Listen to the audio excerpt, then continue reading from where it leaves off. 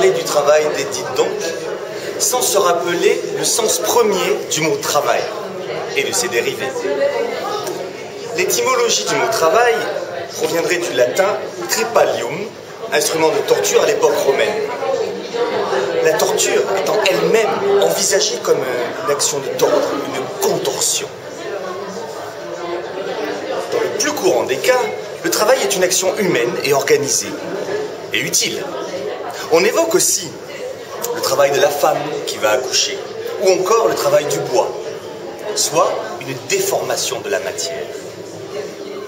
Au départ, je vois la peinture d'Edith donc comme une synthèse de ce lexique savamment apprivoisé. Parce qu'elle est utile. Entrer dans la peinture d'Edith donc, c'est oser franchir les barrières de la normalité et consentir au cynisme d'une époque délétère vouée à la ruine de nos différences. Ici, point d'anachronisme, juste un rapprochement de sujets synchrones. Comment réagir face à une petite fille au balcon que je vois là-bas, avec vue sur une ville en ruine? Qui est cet infirmier au visage porcin? Dans les couloirs d'un dispensaire de santé sans jamais toiser ses congénères, et dit donc porte un regard perplexe sur ses contemporains. Parce qu'elle est contorsion.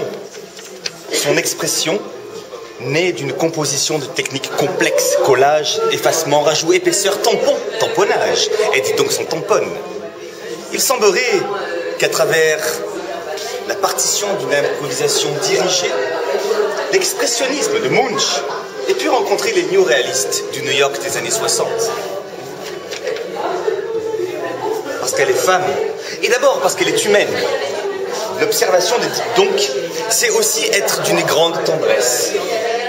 Autant de portraits, de regards sortis tout droit d'une pellicule de film en noir et blanc, où les personnages, tout en expressivité et privés du médium sonore, nous parlent et nous les entendons.